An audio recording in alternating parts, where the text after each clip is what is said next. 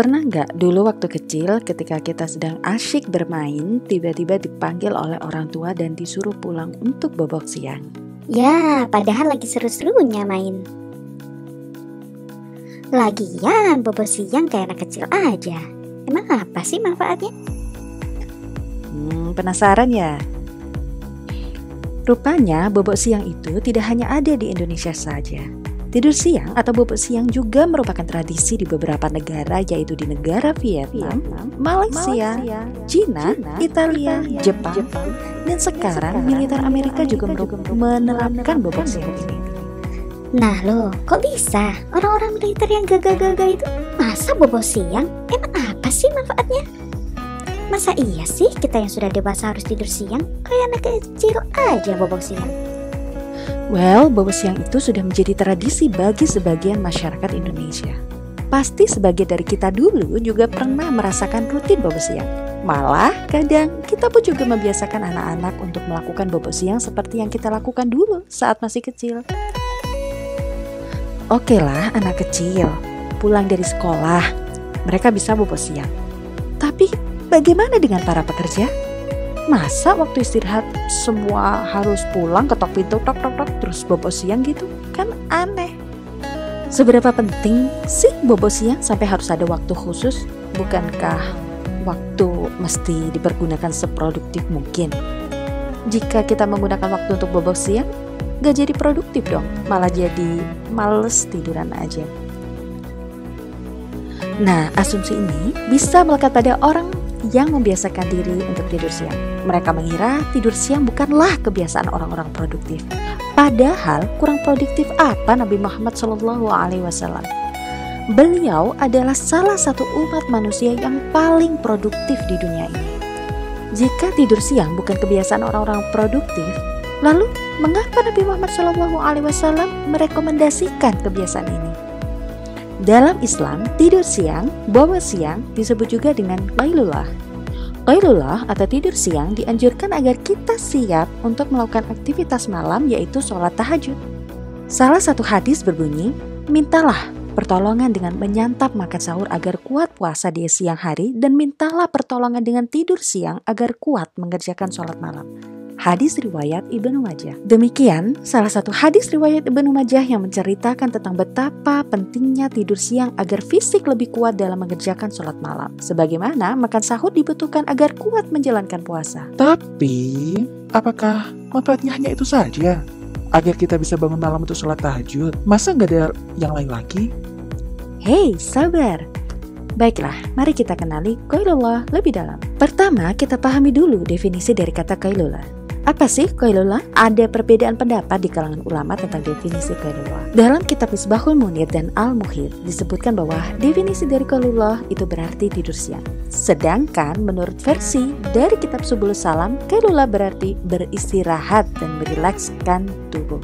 Jika mengacu dari makna ini, berarti kailullah atau bobot siang tidak mengharuskan kita untuk tidur, tapi hanya cukup sekedar merilekskan tubuh dengan tempat yang nyaman yang membuat kita merasa tempat itu cocok untuk beristirahat.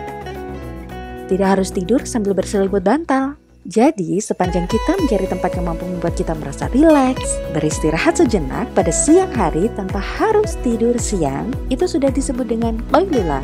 Dalam sebuah hadis mutafakun alaih dari Sahal bin Sa'ad radhiyallahu an berkata, Dahulu kami tidak melakukan kelula dan makan kecuali setelah sholat Jumat di zaman Nabi Shallallahu Alaihi Wasallam. Mutafakun alaih hadis riwayat Muslim. Sebuah riwayat dari Anas bin Malik radhiyallahu an berkata, Dahulu para sahabat biasa melaksanakan sholat Jumat kemudian tidur siang. Hadis riwayat Bukhari. Pernah suatu ketika ada orang-orang Quraisy yang duduk di depan pintu Ibnu Mas'ud ketika tengah hari. Ibnu Mas'ud mengatakan, bangkitlah kalian untuk istirahat siang yang tertinggal hanyalah bagian untuk setan. Kemudian Umar menyuruh semua orang bangkit. Hadis riwayat Bukhari. Berdasarkan hadis riwayat Abu Nuaim, tidurlah. Kailullah, tidurlah. Karena setan tidaklah tidur siang. Tahukah Anda jika kailullah juga dilakukan oleh para penduduk surga? Sebagaimana yang tertulis dalam firman Allah surat Al-Furqan ayat 24.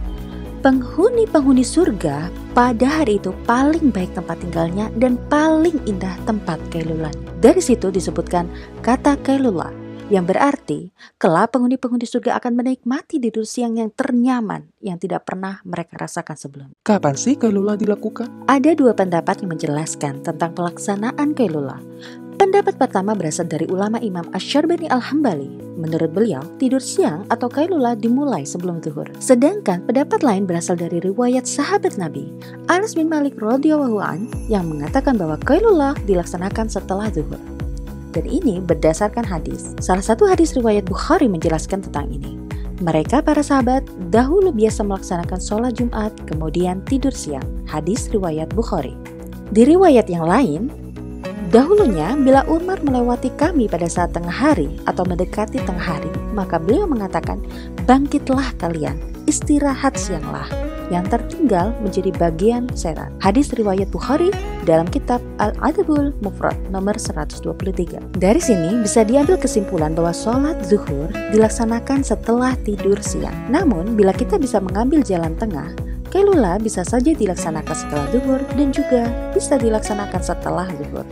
Yang penting niat kita untuk melaksanakan kelula. Lalu, melihat dari beberapa hadis yang menggambarkan kebiasaan para Rasulullah dan sahabat yang melaksanakan bobo siang, apa sih sebenarnya yang ada di balik itu semua? Karena tidak mungkin Rasulullah merekomendasikan suatu kebiasaan tanpa ada suatu hal yang besar di balik itu semua.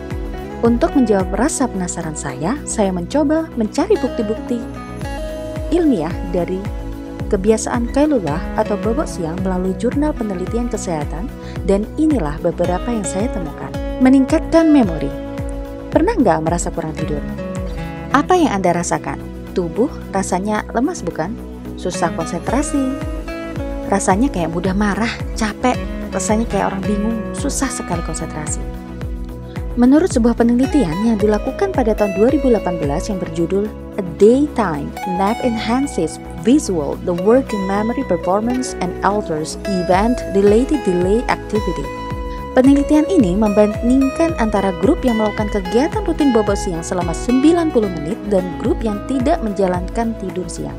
Hasil studi menunjukkan grup yang melakukan tidur siang selama 90 menit memiliki peningkatan terhadap working memorinya. Dari sini dapat disimpulkan bahwa tidur siang sangat bagus untuk meningkatkan working memory. Mengurangi kecenderungan sleep pressure dan meningkatkan memory.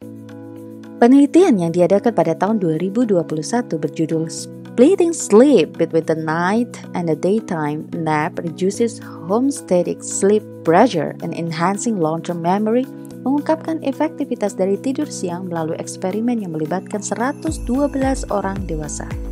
Mereka dibagi menjadi empat kelompok. Satu kelompok diminta untuk tidur malam selama 8 jam. Kelompok kedua diminta untuk tidur selama 8 jam dan dibagi dua, tidur siang dan tidur malam. Kelompok ketiga tidur malam selama 6,5 jam dan kelompok terakhir tidur selama 6,5 jam tapi harus dibagi dua juga 90 menit digunakan untuk tidur siang. Dari hasil penelitian mengungkapkan bahwa kelompok yang menjalani tidur siang selama 90 menit menunjukkan kemampuan dalam mengingat satu hal lebih tajam daripada yang lain. Hal ini menunjukkan bahwa kebiasaan tidur siang atau kailula meningkatkan kapasitas memori. Bagus untuk perkembangan kognitif dan meningkatkan kecerdasan anak. Sebuah penelitian yang diadakan pada tahun 2015 berjudul Sleep and Behavior of Preschool Children Under Typical and NAP Promoted Conditions dilakukan terhadap 133 anak. Eksperimen ini dilaksanakan selama 16 hari dan hasil eksperimen tersebut menyebutkan bahwa ini sangat bagus untuk menjadi kebiasaan anak-anak dalam usia pendidikan usia dini. Efektif untuk meningkatkan performa tubuh dan mengurangi keletihan. Penelitian ini diadakan pada tahun 2019 dengan judul Nap Opportunity During the Daytime Affects Performance and Perceived Exertion in 5 Meter Shuttle Run Test. Penelitian ini melibatkan beberapa atlet sebagai partisipan studi dan hasil menunjukkan bahwa rutin melakukan tidur siang mampu untuk meningkatkan performa tubuh dan mengurangi keletihan mengurangi rasa kantuk, kecemasan, dan burnout. Penelitian yang berjudul Should Public Safety Shift Workers Be Allowed to Nap While on Duty? Menunjukkan betapa besar manfaat dari istirahat siang bagi para pekerja terutama yang memiliki kebiasaan bekerja tak kenal waktu karena tuntutan pekerjaan yang mengharuskan untuk bekerja dengan shift waktu yang berbeda. Pekerjaan-pekerjaan tersebut seperti praktisi kesehatan, kepolisian, pekerja keamanan, pekerja pabrik, dan juga pemadam kebakaran memang sangat perlu untuk melakukan kebiasaan kailula atau tidur siang. Dari penelitian ini, ditemukan bahwa tidur siang mampu mengurangi rasa kantuk ketika mereka bekerja, mengurangi rasa cemas yang muncul, dan juga mengurangi potensi burnout atau stres kronis yang dirasakan oleh pekerja baik berupa emosional, fisik, maupun mental. Dari beberapa manfaat yang dibuktikan oleh penelitian-penelitian yang diulas dalam video ini, terungkap betapa besar manfaat dari kailula.